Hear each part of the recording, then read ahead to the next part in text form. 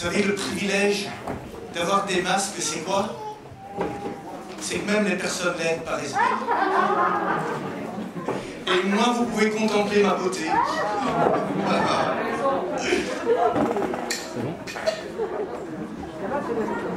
Les enfants. Ah oui. Ça fait une éternité. Ça fait une éternité quand même. On ne s'est pas vu, j'ai pas prêché. Ça fait deux ans que j'étais avec Salvatore. Ça fait au moins deux ans avec le Covid. Alors, il y a des choses bizarres qui se passent. C'est qu'il y a des visages que je ne connais pas. Alors je vous salue. Je vous dis bonjour. Je suis heureux de faire votre connaissance. Et puis il y a des enfants qui sont métamorphosés. Alors ça, je suis un peu moins content parce que ça me montre que je vieillis. Mais Dieu est bon. J'aime beaucoup. je ne sais pas si vous avez. J'ai dit à Salvatore que j'avais une grande attente sur le cœur pendant ce culte. Et j'aime, j'aime les moments où il y a une onction prophétique qui vient et qui parle, et puis qui, anime le corps. Alors, je vais vous dire, attendez-vous, attendez-vous à Dieu. Je me suis, euh, en, me préparant pour ce culte, j'avais l'image, j'avais l'image d'un bateau. Et euh, ce bateau, en, fait, c'est comme si mon rôle était de nous préparer à, sortir et de, voir ce bateau qui, lâche les amarres, ce, ce, bateau qui descend les voiles et qui, qui attend le moindre moment où le vent souffle pour nous amener plus loin. Vous comprenez ce que je veux dire? Et vraiment, ce, que, Dieu met sur, le cœur, c'est nous détacher, les, lâcher les amarres, c'est pouvoir se détacher de ce qui nous retient c'est pouvoir nous détacher de, ce qui nous lie et qui nous empêche d'aller plus loin avec Dieu. Et puis de laisser tomber les voiles, ça, ça nous amène dans la liberté. Et remarquez que le bateau, il ne peut pas avancer lui-même. Le bateau, il a besoin du vent, il a besoin du, Saint-Esprit pour avancer. Mais un bateau qui n'est pas prêt, le vent peut souffler tant qu'il veut, si les voiles ne sont pas descendues, s'il reste attaché au quai, il n'avancera pas. Vous êtes d'accord avec moi? Alors, aspirez, aspirez à, des manifestations de la présence de Dieu. Vous savez, j'ai reçu des, prophéties que des gens seraient guéris pendant que je prêcherais. Et sur, la guérison divine, c'est des choses qui, euh, m'attirent. J'ai travaillé sur ce sujet, j'ai travaillé et j'ai grandement évolué dans, le domaine de la, guérison divine. Et je sais que la guérison divine fait partie de la nature de Dieu. Mais je sais aussi que Dieu ne m'a pas donné le don de guérison. Dieu ne m'a pas donné à moi le don de guérison. Je prie parfois pour les gens. Certains sont guéris, mais proportionnellement, vous savez comment, comment ça va. Et, ça, ça veut dire que Dieu ne m'a pas donné le don de guérison. Et parfois, ça me frustre. Parce que moi, je voudrais bien manifester un don de guérison comme, comme beaucoup de gens l'ont. Et puis, je suis tombé sur quelques citations, notamment celle de Osborne. Osborne disait ceci. Il disait vous attendez, c'est un américain, alors j'ai traduit, je donnais l'accent américain, il disait, vous attendez que j'arrête de prêcher pour être guéri. Mais moi, j'attends que vous soyez guéri pour arrêter de prêcher. Et j'ai trouvé ça génial comme démarche. Parce que c'est pas, pas Osborne qui guérit. Oh, il avait beaucoup de guérisons, vous savez. mais c'est pas Osborne qui guérit, c'est le Saint-Esprit qui guérit. Et le Saint-Esprit peut guérir par un appel où on impose les mains ou, ou l'onction de vie ou des choses comme ça. Mais il peut aussi se manifester comme il l'entend. Alors attendez-vous à lui. Et c'est quelque chose qui est... J'ai bien aimé aussi un passage que vous allez retrouver dans Acte 19. C'est Paul qui est à Éphèse. Et puis Paul, il, est chassé de la synagogue, il prend les quelques disciples qui sont là, et il va chez, dans, une école, l'école euh, pour, enseigner, c'est un certain Tyrannus. Et il va enseigner là pendant deux ans. Vous savez que Paul n'avait pas de don de guérison à un certain moment, on dit même qu'il dit même qu'il a laissé, euh, je ne sais plus son prénom, euh, Trophime malade. Paul ne manifestait pas spécialement un don de guérison. Mais dans Acte 19, il nous est dit quelque chose d'incroyable.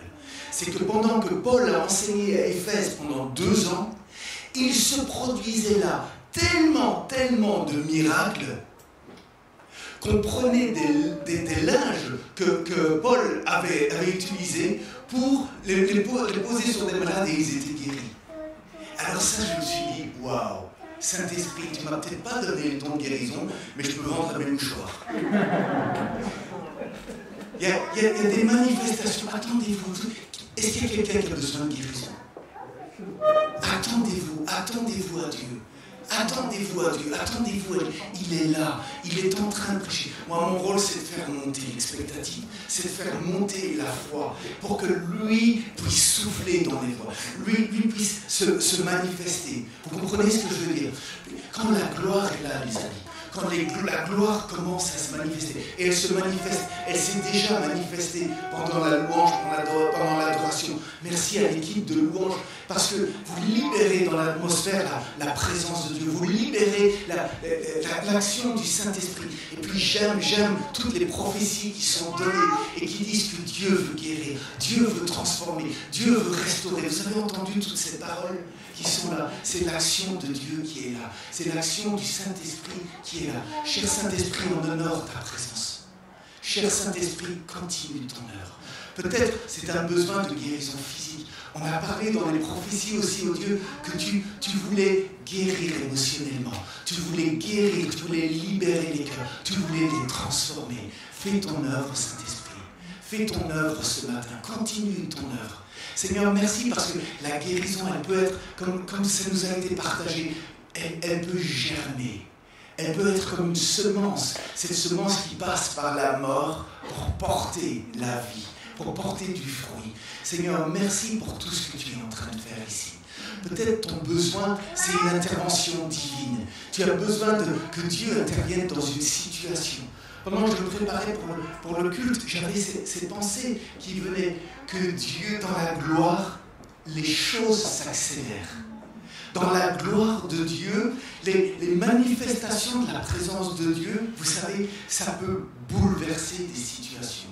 Tu as des gens qui sont contre toi, peut-être un patron qui t'en veut, peut-être une situation catastrophique. Je vais dire merdique, mais je ne peux pas parce que je suis en train de tricher. Mais tu es, tu, tu es dans une situation vraiment terrible.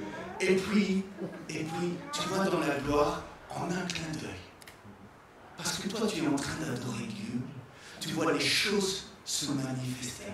Vous savez que pendant qu'on est en train d'adorer Dieu, ah, je sais bien que Calvin et Jacques Lemaire ne seraient pas d'accord avec ce que je vais dire Mais pour moi, le moment le plus précieux dans un culte, c'est le moment de l'adoration. Oh, bien sûr, j'aime prêcher, j'aime annoncer l'évangile, et il faut que l'évangile soit annoncé, il faut que l'évangile soit prêché. Mais ce que j'aime, c'est de voir le Saint-Esprit agir d'une manière particulière dans l'adoration, dans la louange. Ce qui est bien aussi dans l'adoration et dans la louange, c'est que ben ici, vous êtes spectateur de, des singeries que je suis en train de faire sur la scène, vous voyez, mais dans l'adoration, chacun d'entre nous peut être actif chacun d'entre nous peut adorer son Dieu. Vous savez, je vais bientôt prêcher. Pour le moment, je ne suis pas en train de prêcher. Comment, comment je suis devenu chrétien? En fait, j'aime beaucoup l'adoration. Parce que je suis devenu chrétien parce que des jeunes gens adoraient Dieu. J'étais dans un temps, je vous raconte un petit peu mon témoignage, c'est le privilège de l'âge, on peut se répéter. Je vais faire court, mais je me suis retrouvé dans un. J'étais persuadé d'être chrétien parce que j'étais né dans une famille chrétienne. Mon père était pasteur d'une église réformée, donc c'était quelque chose de très liturgique.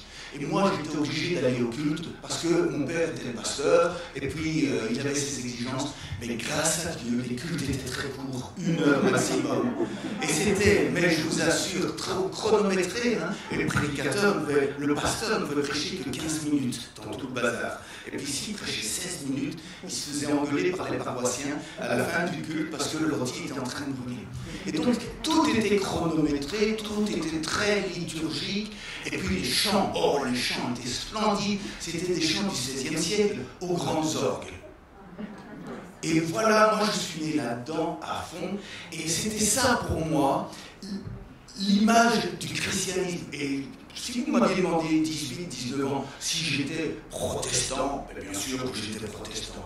Et j'ai toujours cru en Dieu parce que je suis né dans, dans ce contexte-là.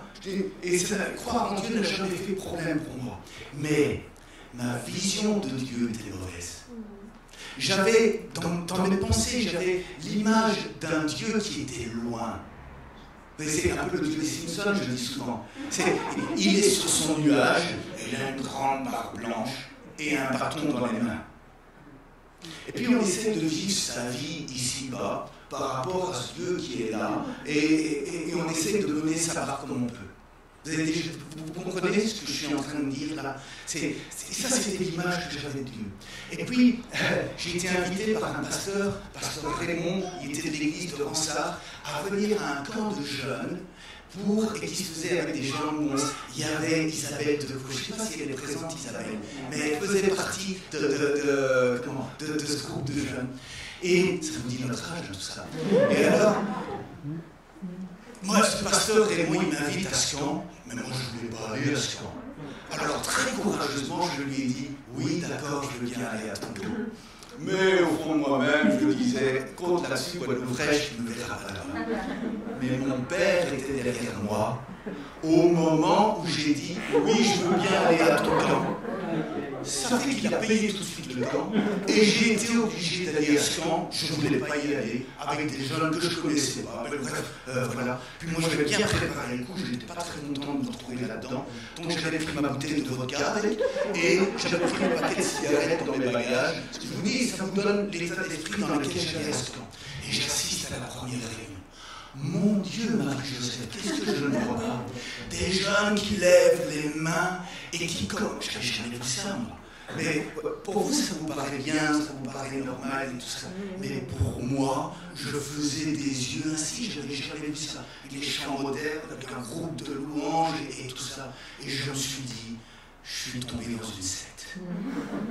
Ça, ça a été ma première réaction. J'ai eu peur, vraiment. J'étais couillon quand même. Et, j'ai eu peur de, ce que je voyais, mais je ne montrais pas trop. Et puis j'ai dit au pasteur Raymond, écoute pasteur, moi, je dois préparer mes examens, j'étais à l'université à Mons, j'avais des sciences économiques, je devais avoir un examen de droit, je lui dis, je dois préparer mes examens, je ne peux pas assister aux réunions tout le temps comme ça. Et lui, très gentiment, il me dit, pas de problème, Pierre, va dans la petite pièce à côté, C'est un peu comme si la réunion se passait ici, et moi j'étais dans la cuisine. Vous voyez le truc Et alors j'allais, chaque fois que la réunion commençait, je le foutais dans, dans mon petit local, et je faisais, je travaillais mon cours de droit. C'est pour vous dire que je n'étais pas en recherche mystique, ni quoi que ce soit. Pour moi, j'étais chrétien, et j'étais dans mon cours de droit. Et j'entendais vaguement que les jeunes, c'est une cinquantaine au moins, étaient en train d'adorer Dieu. Ils étaient en train de louer Dieu. Ils étaient en train de, vraiment d'aimer Dieu de tout leur cœur. Leur visage était rayonnant. Et pendant qu'ils étaient en train d'adorer Dieu, à un certain moment, moi qui étais dans mon petit local, là en train de travailler sur mon cours de droit, j'ai commencé à sentir des vagues de chaleur qui venaient. Moi je dis aux élèves souvent, c'est comme les radiateurs, les gros radiateurs en fond qui fonctionnent. Ça vous envoie des vagues de chaleur. Vous avez déjà connu ça. Hein, mais ça venait partout. Et je me retournais, je pensais qu'il y avait le feu dans la pièce. Franchement, je pensais qu'il y avait un incendie quelque part. Je me retournais et je me sentais des vagues d'amour qui venaient, des vagues d'amour qui venaient. J'avais chaud et il y avait une paix absolument extraordinaire. Alors au début, je n'ai rien compris à ce qui se passait. Or, aujourd'hui, je peux vous mettre des mots là-dessus. C'était la gloire de Dieu qui se manifestait. Et en fait, la gloire de Dieu, elle était là. Et un verset dans la Bible qui dit que Dieu trône au milieu des louanges de son connaissez ce verset? Dieu règne au milieu des louanges de son peuple. Et pendant que ces jeunes étaient en train d'adorer, moi j'étais au bénéfice, dans mon petit local, j'étais au, petit, bénéfice de, ces, de, la présence de Dieu de ces vagues de gloire qui venaient. Ça a été ma toute première expérience de la présence de Dieu. Ce Dieu que je croyais loin s'était approché de moi. ce Dieu que je voyais tellement euh, loin avec, une mauvaise image, eh ben, c'était approché. Et c'était sa présence que je pouvais sentir. Le camp s'est terminé, je ne savais pas quoi faire. Il y a personnes qui m'ont approché euh, en disant tu vas donner ta vie à Jésus, vous comprenez rien du tout, tout ça. Et je ne savais pas ce qui se passait. Et puis quand c'est terminé, je me suis retrouvé à Mons et j'ai retrouvé tous les jeunes là. Et puis j'ai commencé à fréquenter les réunions, ils avaient un coffee bar, et donc j'allais dans le coffee bar, ils faisaient beaucoup d'évangélisation, c'était avec Pierre Meunier, pour ceux qui le connaissent, Pierre et Christine Meunier, et vraiment, il y avait des prédications, il y avait des évangélisations de manière extraordinaire. Et puis, à un certain moment, Dieu a commencé à parler à mon cœur. Et Dieu m'a dit ceci, il m'a dit, Pierre, je me suis approché de toi. Je me suis vraiment approché de toi. Mais maintenant, si tu veux plus de moi, il faut que tu ouvres ton cœur. C'est un peu l'image d'un verset dans la Bible qui dit Jésus se tient à la porte et il frappe. Hein, et il dit Vous connaissez ce verset dans l'Apocalypse Mais c'était vraiment ce que j'avais sur le cœur. C'est Jésus qui disait je, je, suis venu, je suis là à la porte et je frappe. Mais maintenant, c'est toi qui dois prendre une décision. Et c'est marrant parce que je, je me suis amené dans la réunion il y a eu une prédication, j'ai rien compris à la prédication, mais je savais que je devais poser un acte d'ouvrir mon cœur pour que le Seigneur puisse rentrer dans ma vie. Est-ce que vous, comprenez ce que je veux dire Et à partir de ce moment-là, j'ai commencé à goûter des manifestations de la gloire de Dieu, encore et encore plus. Parce que Dieu est un Dieu qui ne demande qu'une chose, c'est de se révéler. Encore et encore. À lui. Quel que soit votre besoin pendant que je suis en train de parler, là, laissez la foi monter. Et puis, attendez-vous à du miraculeux. Euh, vous savez, on nous a dit que Jeanne était à l'hôpital, mais pendant que toi, tu es en train d'adorer, là, il y a peut-être des manifestations de la gloire de Dieu qui font que les choses se mettent en place, se restaurent. Et toi, tu es juste là, en train d'adorer. Tu n'es même pas en train de penser à Jacques. Vous, comprenez ce que je veux dire? C'est Dieu qui libère son action, qui, qui c'est le Saint-Esprit qui agit. Il qu'il Peut-être que pendant que tu es en train d'adorer, la personne qui est juste assise à côté de toi, elle est touchée par l'action du Saint-Esprit. Elle ne sait pas mettre des mots sur ce qui est en train de se passer. Son cœur est en train d'être touché par la présence de Dieu. Est-ce que vous me suivez Moi, j'aime ça. J'aime ça. Parce qu'on n'est pas dans la scène de cuisine. Voyez-vous, on n'est pas dans. Euh, c'est pas nous qui décidons comment Dieu doit agir ou, ou ce qu'il doit faire. Mais si nous appliquons, si, nous adorons simplement Dieu, Dieu peut faire au-delà de tout ce que nous pouvons penser ou imaginer. Tu es peut-être en train d'intercéder pour des gens. Tu as peut-être sur le cœur des fardeaux d'intercession par rapport à des gens. Adore, adore Dieu. Laisse le Saint-Esprit s'occuper. Et puis dans ces moments de gloire, le Saint-Esprit veut se saisir de toi et te donner une autorité surnaturelle dans l'intercession. C'est lui qui se saisit de toi.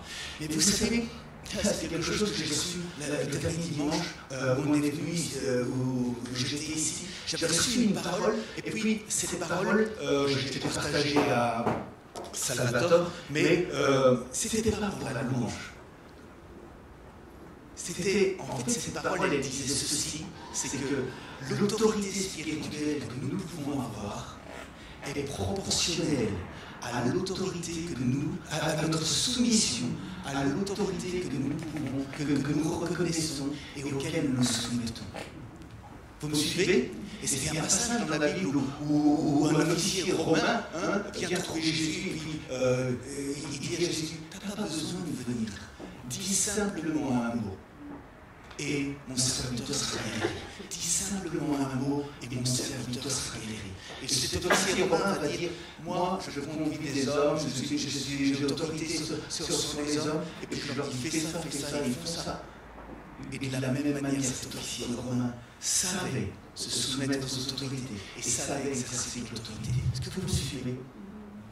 Mais quand tu es dans cette démarche, où, tu sais te soumettre à Dieu, où tu sais reconnaître les autorités et t'y soumettre, alors ta, propre autorité devient grande et grandit. puis que cet esprit, d'une manière surnaturelle, peut, peut se saisir de toi dans des moments d'intercession. Je parle ici pour le groupe des intercesseurs, parfois d'être revêtu, d'être revêtu comme cela, surnaturellement, de, de paroles d'autorité, de paroles de proclamation, où le Saint-Esprit conduit ces choses. Est-ce que c'est pas beau Attendez-vous à Dieu. Cher Saint-Esprit, nous honorons ta présence. Cher Saint-Esprit, merci.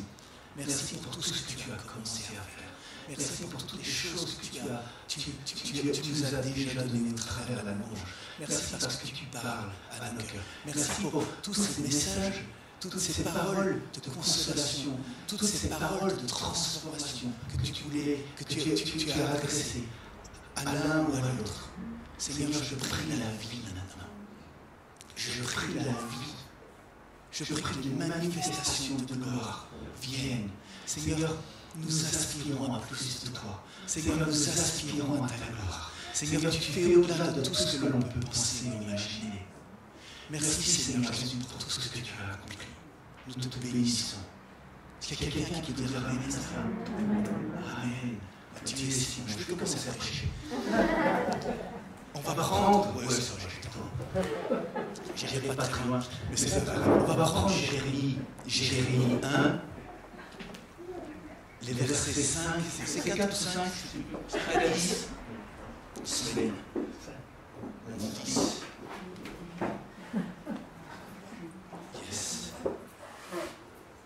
Je l'ai déjà prêché euh, à droite, à gauche. D'habitude, ça se passe, c'est différent. D'habitude, la première fois que je reçois une prédication, c'est ici que je la donne.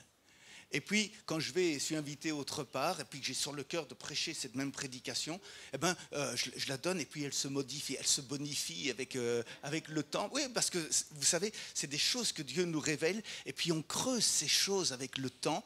Et, et, donc, je l'ai déjà prêché à, deux endroits différents. Et puis, euh, quand Christophe m'a demandé de prêcher, j'étais tout content, et je savais tout de suite, boum, j'ai su que c'était ça que je devais vous apporter. C'était clair et net.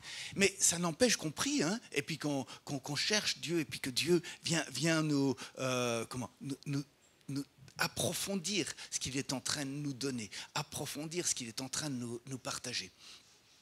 Et donc, euh, voilà l'appel de Jérémie. Jérémie est un, gamin de 18, 18 ans, peut-être, c'est un, adolescent. Il est tout jeune et il va recevoir l'appel pour le ministère. Alors, voilà comment commence son appel. Ça dit ceci, avant que je t'ai formé dans le ventre de ta mère, je te connaissais.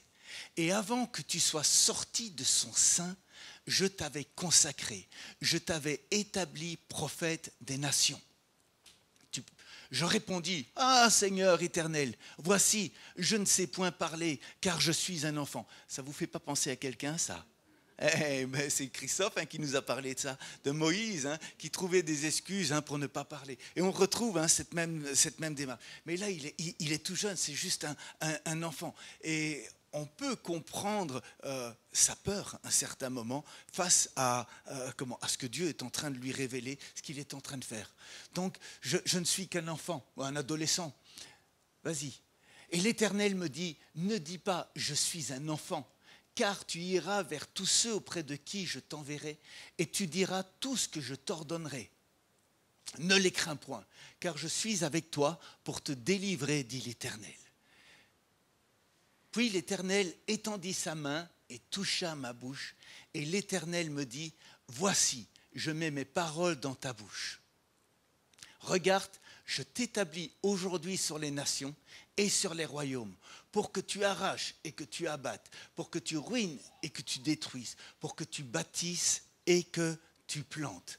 C'est marrant parce que ce verset-là, tout à l'heure je vous parlais de ma, conversion, mais ce dernier verset, il m'a été donné par Pierre Beumier en prophétie. C'est vraiment extraordinaire comme, euh, euh, les, les souvenirs peuvent être vivaces au moment où il a prié pour que je sois rempli du Saint-Esprit j'ai suivi, un catéchisme et puis euh, avec lui, et puis il a, commencé à parler du Saint-Esprit. Et en priant pour moi, il m'a imposé les mains, il priait pour moi, il m'a donné cette parole d'être euh, d'être établi pour arracher et détruire, mais pour construire aussi. Alors Dieu n'a pas fait de moi un prophète, Je vous ai dit, je n'avais pas le don de guérison, mais je n'ai pas non plus le don de prophétie. Je, suis au, bénéfice d'une onction prophétique. Parfois, Dieu donne des messages, mais ça ne fait pas de moi un prophète. Vous comprenez ce que je veux dire? Et on va parler de ces choses. On va voir qu'on peut manifester des dons, mais ça ne veut pas dire que euh, c'est notre appel euh, fondamental. Et donc, je ne suis pas prophète. Ça, c'est bien. Vous savez, c'est chouette, parce que vous ne pouvez pas m'accuser d'être un faux prophète. Ah ben oui, les prophètes, on peut dire qu'ils sont des faux prophètes. Mais moi, vous ne pouvez pas le dire parce que je ne suis pas prophète. Donc, on revient euh, au fondement de Jérémie, là, de, de l'appel de Jérémie. Vous avez remarqué comment il commence son appel? Tu peux nous remettre le verset 5 C'est un passage absolument extraordinaire quand vous réfléchissez à ça. Il dit, avant que je t'ai formé dans le ventre de ta mère, je te connaissais et avant que tu sois sorti de son sein, je t'avais consacré, je t'avais établi prophète des nations. C'est extraordinaire, vous ne trouvez pas? Moi, ça me fait chauffer la tête. Hein. Moi, je, en, en, lisant ce verset et en réfléchissant, parce que vous comprenez tout ce que ça implique. Dieu n'a pas dit, oh Jérémie, j'ai vu que tu étais un brave gars, tu étais un gentil gamin, je vais faire de toi un prophète. Non, non, non, non, non. Il lui dit, avant, avant que tu ne sois né, je t'ai rêvé. Avant que tu ne sois né, je t'avais déjà sur le cœur. Avant que tu ne sois né, je t'avais déjà prévu. Mais c'est bien plus que ça.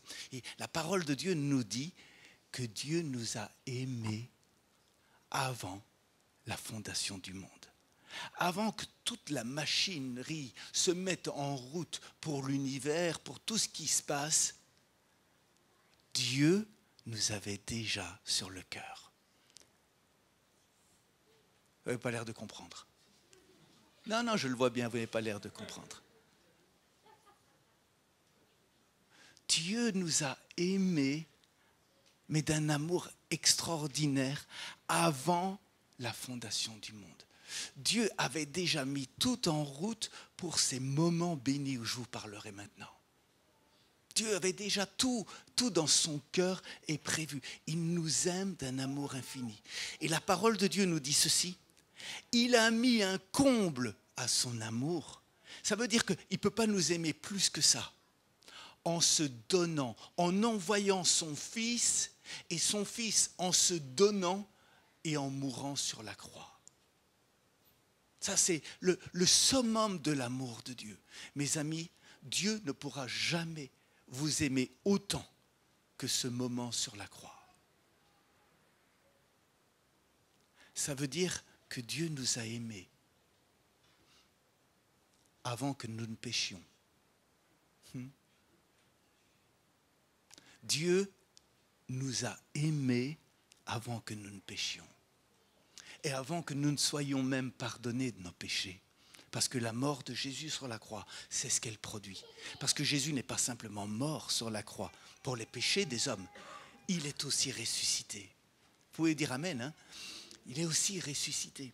Il est aussi vivant. Il est aussi, il règne dans les cieux. Vous voyez Et l'image que nous avons de Jésus, plus nous avons une image glorieuse de ce Jésus qui est ressuscité, le Fils de Dieu, plus il y a une transformation qui s'opère en nous. Et donc Jésus est vivant.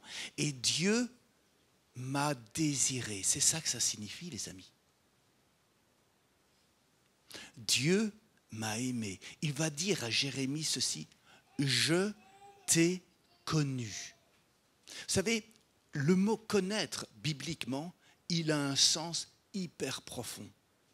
C'est le même mot que Dieu va utiliser, qu'on va retrouver dans la Bible, pour dire Adam connu Ève. Et vous, comprenez la suite, hein? Vous savez ce qui s'est passé après. Adam connu Ève. Et parce que c'est quelque chose euh, d'extraordinaire de, voir cette connaissance. Ça veut dire que Dieu m'a connu avant.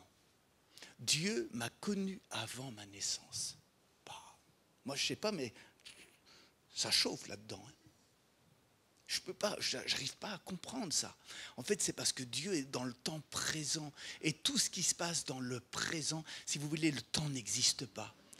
Tout se passe en même temps, si vous voulez.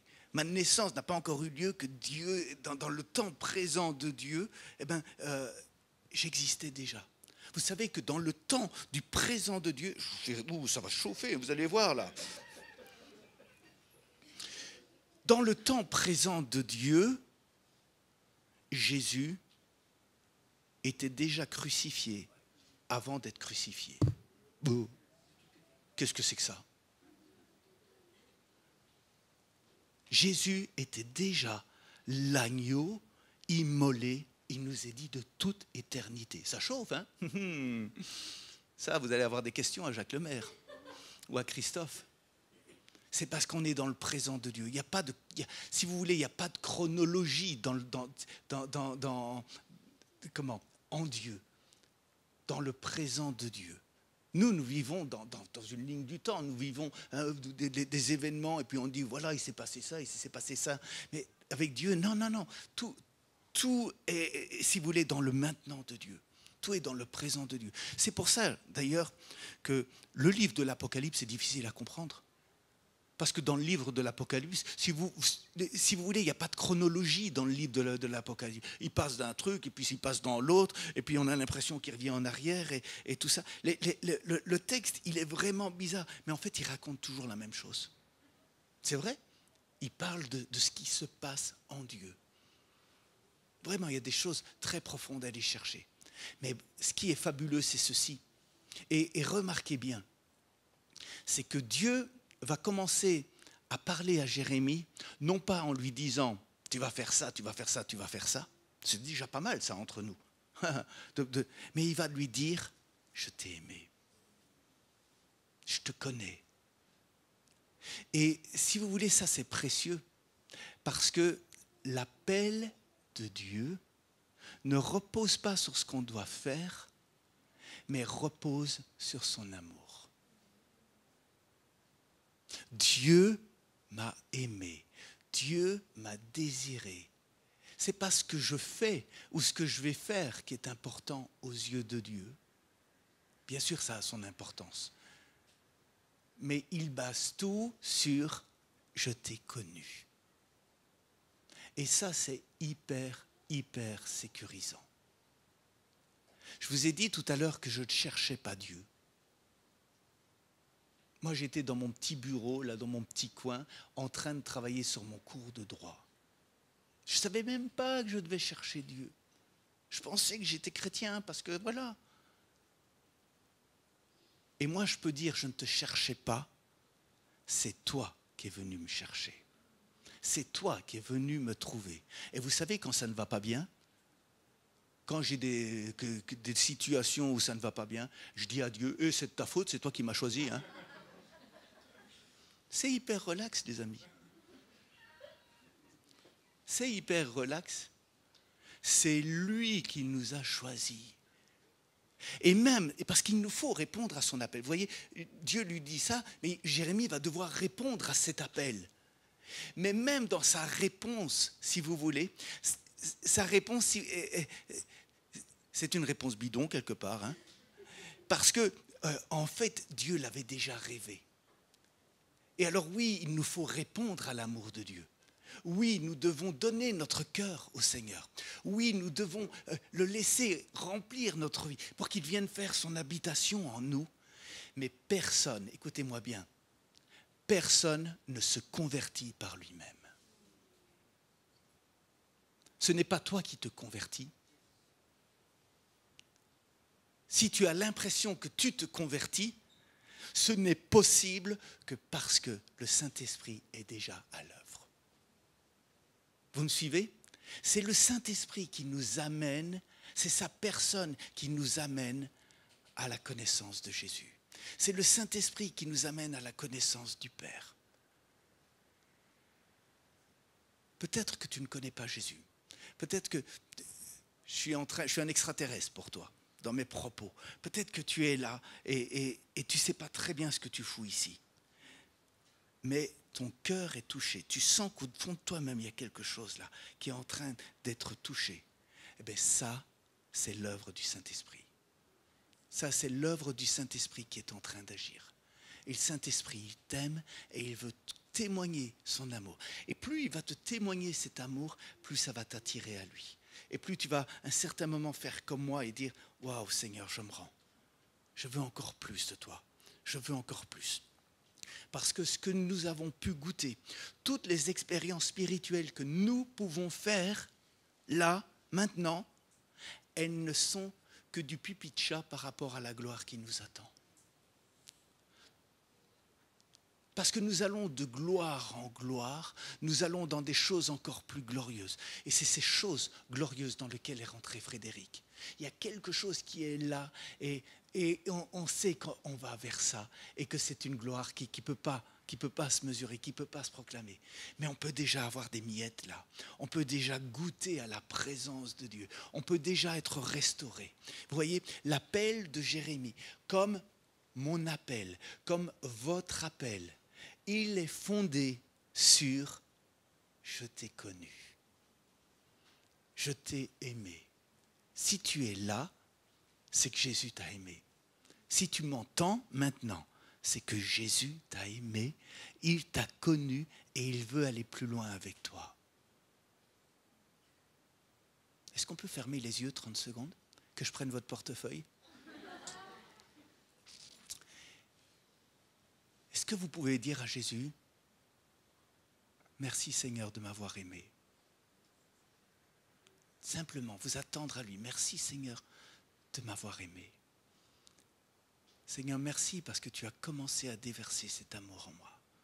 Merci parce que tu m'attires et je commence un chemin avec toi. Merci Jésus parce que tu as donné ta vie à la croix pour me permettre d'être restauré, renouvelé, transformé. Est-ce que vous pouvez dire merci?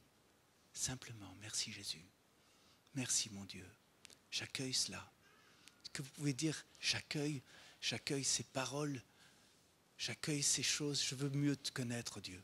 Je veux toujours, toujours mieux te connaître. Je veux encore plus te connaître Dieu. Merci pour ce que tu es en train de faire. Merci, oh Dieu, merci papa. Tu es si bon, si bon. Merci papa. Merci, oh Dieu. Merci. Merci. Jésus est à l'œuvre, les amis. Jésus est déjà à l'œuvre en vous.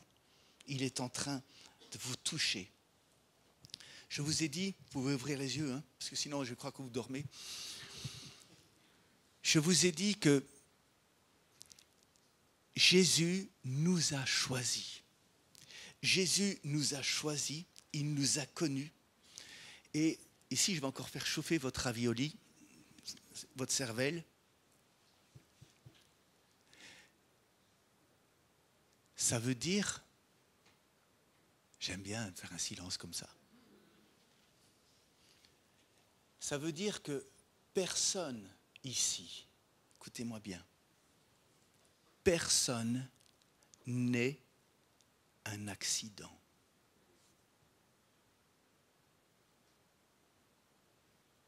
J'ai mon grand gaillard qui est derrière l'ordinateur là. Alors, je vous raconte une petite histoire. Suzy, qui s'est cassée. Suzy, notre fille aînée, est, née il y a bien longtemps, en 1990. Et elle est née, figurez-vous, au mois de janvier en 1990. Et puis, les médecins ont expliqué à mon épouse qu'elle n'avait pas besoin de moyens de contraception quand elle allaitait. Et on a eu la bonne surprise d'avoir Sven qui naissait neuf mois plus tard. Ce qui veut dire que Suzy est née au mois de janvier et Sven est né au mois de décembre. Vous voyez le bazar. Ma femme a été hyper courageuse. C'est presque des jumeaux, mais avec deux grossesses. Et ma belle-mère a dit Oh, c'est un accident. Hein. Et j'ai tout de suite repris ma belle-mère. J'ai dit Comment un accident? Ma femme, elle n'est pas allée se promener pour tomber enceinte.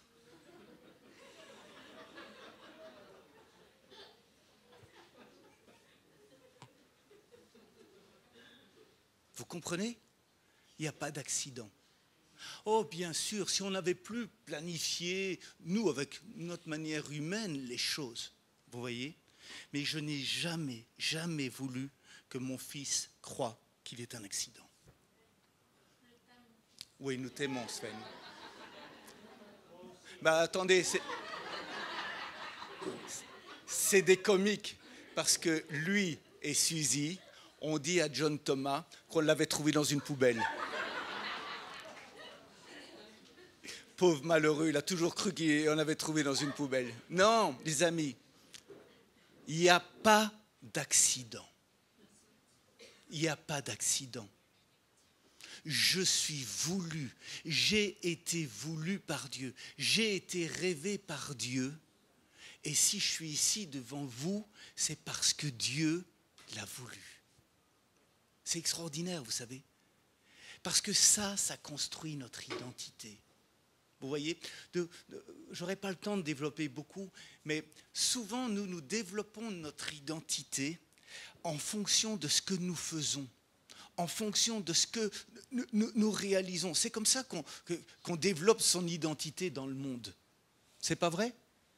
D'ailleurs, une personne qui est au chômage, ben, elle ne va, pas vous dire Oh, je suis un chômeur. C'est pas vrai? Non, non, mais je veux dire, notre, identité dans, dans, ce que nous faisons. Il paraît qu'aux États-Unis, je ne sais pas si c'est vrai, mais Jess il pourra me le dire, parfois on se présente en disant ce qu'on gagne. Bonjour, je gagne 60 000 euros par mois. Ah non, c'est parents, eux, qui calculent. 60 000 dollars 60 000 dollars, c'est pas tellement, hein Non, 100 000 dollars par an. Et comme si ce que je gagnais allait être ma personnalité. Vous comprenez? Et Dieu, il renverse toutes ces valeurs. Et il les renverse complètement. Et il dit, je t'ai aimé bien avant. Je suis amoureux de toi bien avant. Et c'est pour ça que dans toutes les prophéties que vous entendez, eh bien, ces prophéties ne sont pas là pour vous détruire. Elles sont là pour vous restaurer, pour vous ramener à cette réalité qui est de l'amour de Dieu. Vous me suivez? Vous comprenez? Ça doit être le fondement de notre vie. Je ne sais pas ce qui va se passer demain. Personne ne sait ce qui va se passer demain. Mais je sais une chose, c'est que je suis aimé de Dieu. Je sais une chose, c'est que je serai peut-être en prison, mais je serai aimé de Dieu. Je sais une chose, c'est que peut-être que je serai à l'hôpital, mais je serai aimé de Dieu. Vous me suivez? Toute notre vie doit avoir pour fondement cet amour de Dieu. Cet amour qui vient encore et encore. Permettez-moi de vous embêter encore un peu plus. C'est grave ce que je vais dire, mais je le crois, parce que Dieu est Dieu. Même si vous êtes le fruit d'un viol, vous avez été désiré par Dieu. C'est terrible hein, ce que je suis en train de dire. Mais j'ai entendu, oh, j'ai un ami pasteur, le malheureux, il a été conçu dans une secte, dans, un groupe d'échangistes, une, une, secte. Et donc, il a découvert que son père, c'était pas son père, sa mère, c'était sa mère quand même. Mais et le gars, il est complètement détruit. Il n'arrive pas à construire son identité derrière tout cela. Mais quand tu sais c'est important, mes amis, de bien le réaliser, c'est que vous avez été voulu. Ok, vous êtes peut-être passé par des moments terribles, et ces moments terribles, ce n'est pas la volonté de Dieu. Mais derrière tout cela, il y a l'amour de Dieu. L'amour de Dieu est bien plus grand que toutes les circonstances familiales. C'est l'amour de Dieu qui peut guérir également. Je ne connais personne qui soit né dans une famille parfaite. Je ne sais pas pour vous, mais je connais personne qui soit né dans une famille parfaite. On est dans, un contexte familial, avec des difficultés, avec, avec ces, ces bonnes choses, mais aussi ces mauvaises choses. C'est pas vrai ce que je suis en train de dire. Mais nous avons besoin d'être restaurés et d'être guéris. Parce qu'il n'y a que Dieu qui puisse nous consoler vraiment de là où nous sommes nés, des situations dans lesquelles nous sommes nés. Il n'y a que Dieu. Et Dieu va pallier à nos faiblesses. Dieu va pallier à nos manquements. Dieu va agir et va guérir. vous savez, toutes mes lacunes en tant que père, ma prière, c'est que le Saint-Esprit puisse venir et guérir mes enfants. Et puisse guérir les, choses dans, lesquelles, à cause de ma personnalité, à cause de leur personnalité, à cause de, la vie, il y a pu avoir du dégât. Mais l'amour de Dieu, c'est ça qui est le meilleur médicament. L'amour de Dieu qui surpasse tout, cet amour qui vient en vague comme de la gloire et qui est en train de guérir. Je pense que je vais m'arrêter de prêcher là. J'ai encore plein, plein, plein, plein de choses à, vous parler, mais c'est tellement important ce qui est en train d'être dit. C'est ce que je proclame sur votre vie. Jésus vous aime. Il est vivant il est ressuscité. Il veut vous guérir. Il veut vous restaurer. Il veut vous restaurer dans votre identité. Vous savez, notre identité, elle se construit sur la base de l'amour. Elle se construit sur, sur ce que nous contemplons. Je vous disais que Jérémie, il avait de la chance parce qu'il a connu son appel il a su vers quoi Dieu. J'ai dit que j'arrêterais de prêcher, mais ce n'est pas vrai. Et il a su ce que Dieu voulait pour lui. Il a su tout de suite qu'il était appelé à être prophète. Vous avez remarqué que peut-être dans l'Église, vous, vous ne savez pas à quoi vous êtes appelé. Et alors, il y a parfois des gens, ils sentent l'appel de Dieu, mais la structure de l'Église fait qu'ils ne savent pas réellement rentrer dans leur appel.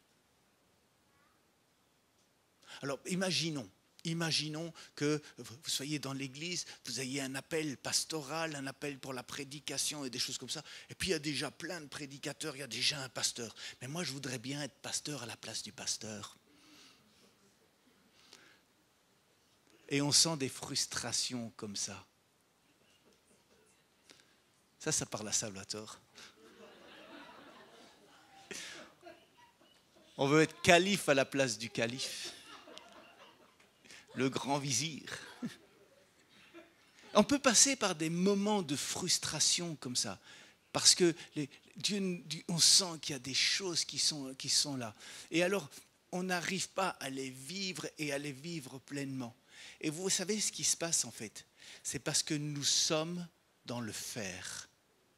Et on, on, veut faire. Et on veut construire son identité en ce que nous faisons mais le premier appel dans notre vie, la première chose à laquelle Dieu nous appelle, c'est à l'aimer. C'est la nouvelle naissance, c'est la conversion, c'est apprendre à le rencontrer. Et ça, c'est un appel général pour chacun d'entre nous. Dieu nous appelle à la nouvelle naissance. Dieu nous appelle à la conversion. Mais après, il nous appelle à le découvrir lui. Souvent, il y, a parfois des gens, ils, me disent, Pierre, je ne sais pas ce que Dieu veut pour ma vie. Ça vous est jamais arrivé, ça? Alors je vais vous donner un grand secret. Tu peux être sûr et certain de ne jamais te tromper dans ton appel en étant un adorateur.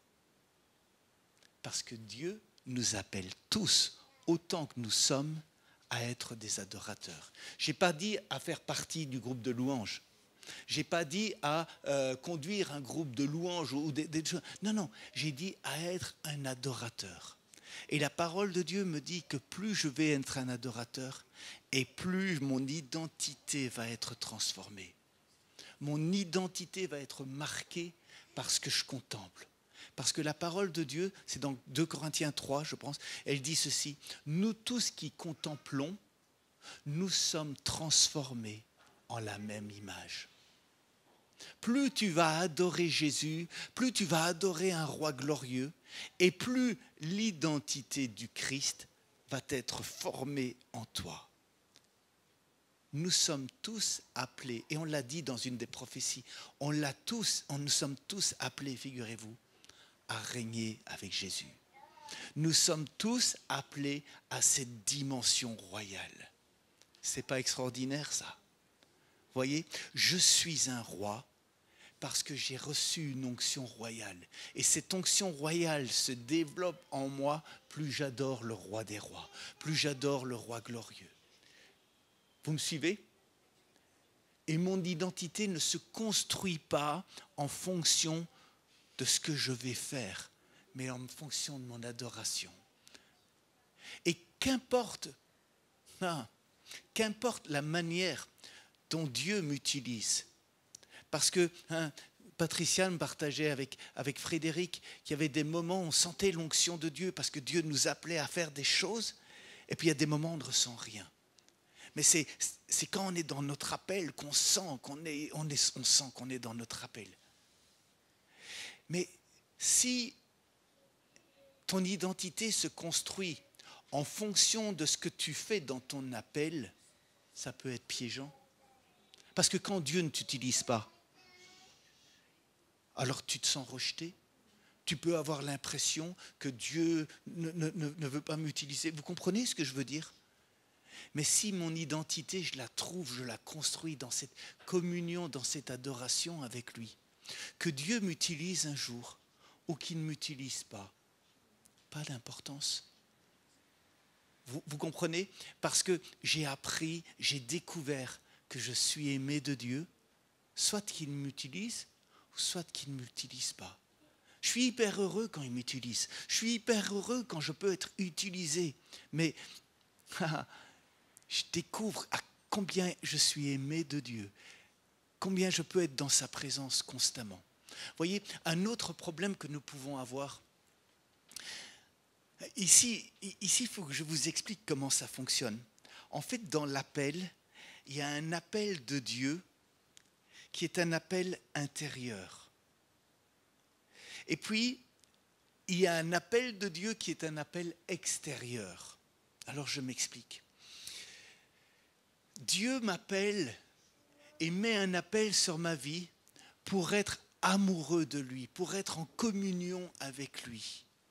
Et puis de cette communion que je peux avoir avec lui, ça va déborder automatiquement sur les autres. Vous me suivez? C'est si vous voulez, il y a une œuvre du Saint-Esprit en moi, il y a une œuvre de foi en moi qui me rend disponible, qui me, qui me, je dis à Dieu, mais comment est-ce que je peux être un instrument de bénédiction pour les autres? Vous voyez, je reçois pour ma propre vie dans ce sens-là, et puis comment est-ce que je peux être un instrument pour les autres? Et, ça rejaillit sur les autres. Alors, nous, nous pourrions croire qu'il faut d'abord hein, que je sois construit en moi avant de me donner pour les autres.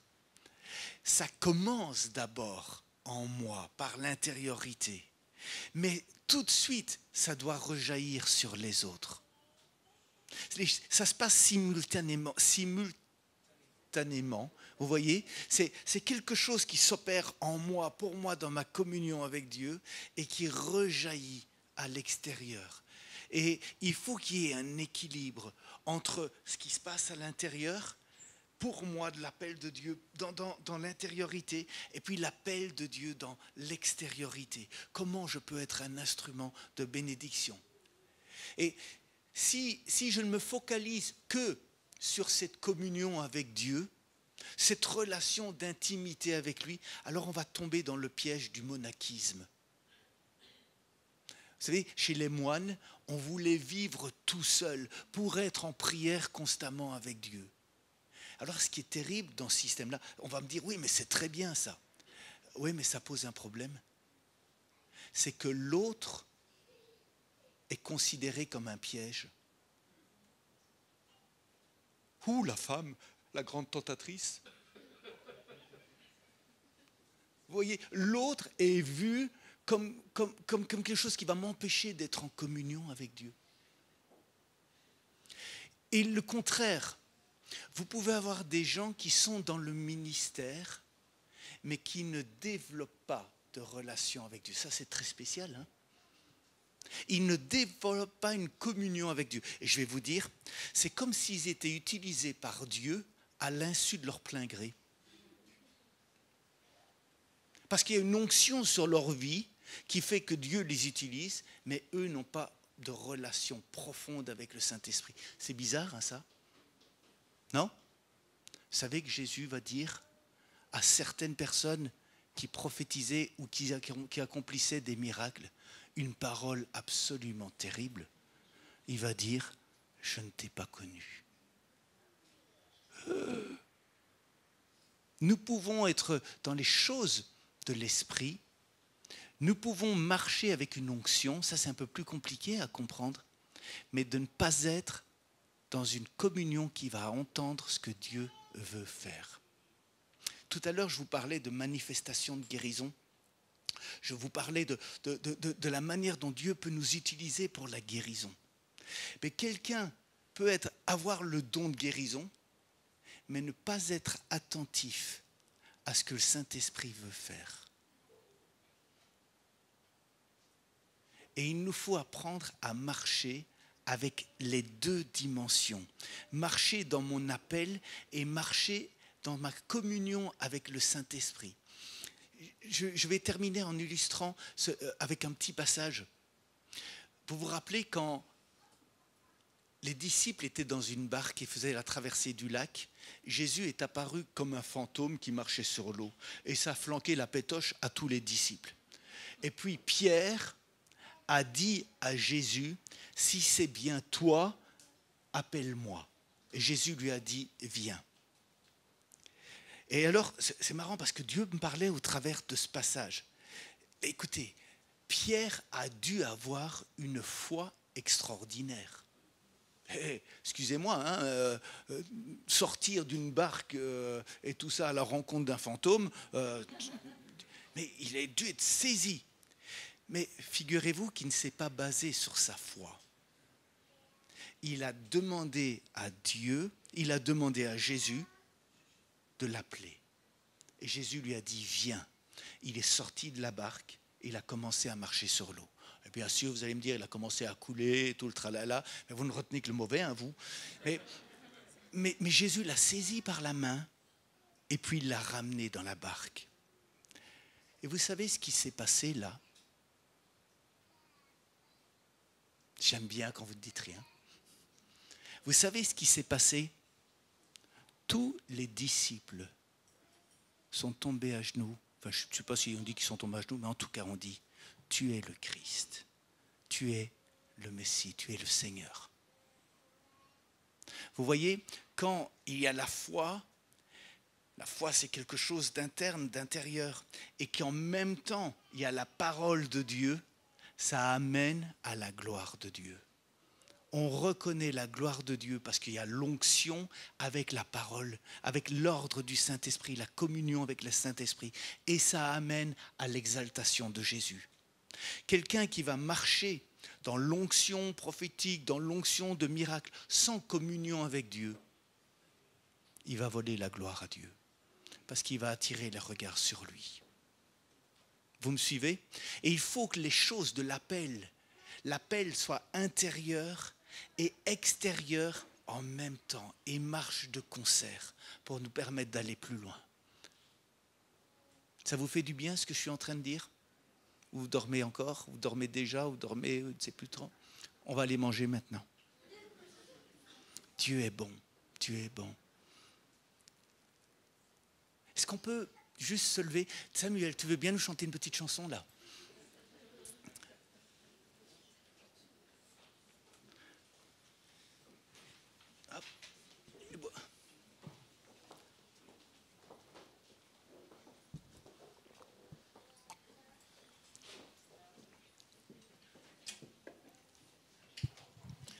Pendant ce chant, ce chant c'est Abba Père, c'est ça? C'est bon? C'est un chant que j'aime beaucoup. J'aimerais vous, juste avant qu'on ne parte, vous donner l'opportunité de donner votre cœur à Jésus, de vous donner ici l'occasion de dire à Jésus, je veux mieux te connaître. Là où vous en êtes, là, euh, vraiment là où vous en êtes. Vous comprenez peut-être rien du tout à ce qui, a été dit, tout ça, vous êtes loin, c'est pas grave. Dites à Jésus, je veux te connaître Est-ce que quelqu'un veut faire, cette, faire, faire ce pas et dire à Jésus, je veux mieux te connaître? Si c'est le cas, je vais vous inviter à vous approcher ici devant. On va faire attention de ne pas vous, vous, comment, vous contaminer et respecter les règles sanitaires. Mais si tu veux connaître plus, je vais t'inviter à t'approcher devant pour donner ton cœur au Seigneur, pour lui permettre de, de rentrer et d'agir.